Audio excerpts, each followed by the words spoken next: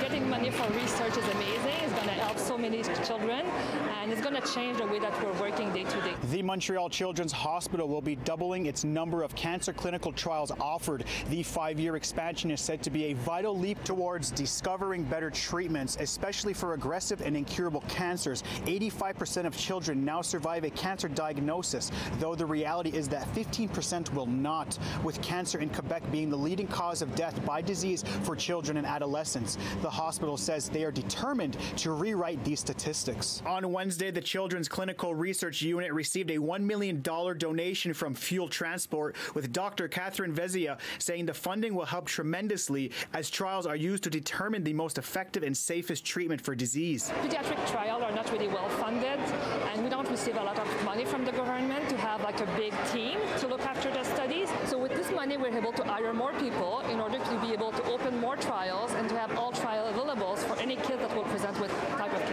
Dimitri Lappos and his son Jameson, who battled leukemia, was present at the press conference where they shared their journey and of how the donations will help others like them who have navigated through a very difficult time. Jameson was diagnosed with um, acute lymphoblastic leukemia, uh, B-cell ALL is the technical term for it.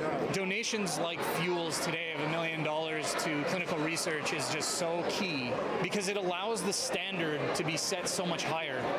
And Jamie was able to have his childhood or, you know, a, a, a quasi childhood, and we were able to have a, a. For many of these children, clinical trials are their only hope, with CEO of Fuel Transport Robert Piccini saying the donation marks the inauguration of Fuel Transport's Papa George Foundation, which will continue fundraising for the children's and other causes. We believe that we could leverage the one million and raise another million in three years, and I hope we go beyond that.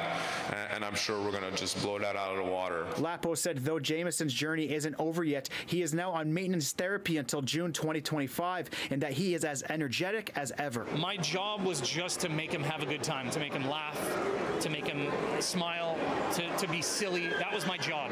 So for parents that are trying to process it, you're gonna go through survival mode where you're gonna feel nothing. In that time, you'll be fine. Just continue doing what the doctors say. They know what's best. Follow that regimen. In Montreal, Tehosterihens Deer, City News.